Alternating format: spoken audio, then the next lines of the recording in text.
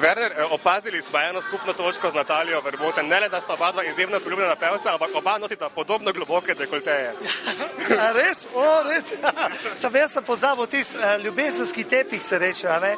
Kot da jih nič ni. Uh, uh, ja, mogoče.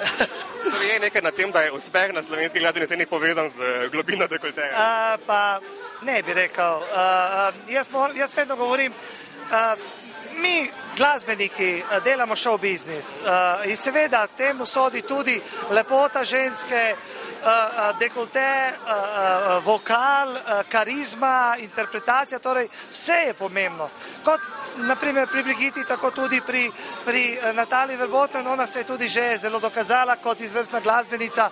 Evo, zdaj sem zvedel, da je to že šesta CD plošča, torej je že ogromno naredila na slovenski glasbeni sceni, pa ne samo z dekoltejem, ampak tudi svojo kvaliteto in, in, in, in svojo ustrajnostjo, pridnostjo in z vsem tem. Si lahko obetamo kakšen duet, Werner, Natalija? Uh, mi dva sta že posnela en duet. Uh, uh, par let nazaj, ko je bila tudi gostja na moji koncerti turneji, takrat so tudi to pre, promovirala. Ne ve se nikoli, mogoče bomo pa še kakšnega zapel. Ne ve se nikoli, jaz sem jih, jaz sem jih že toliko velik naredil, da ne vem. Najlepša hvala. Hvala tudi vam, adijo.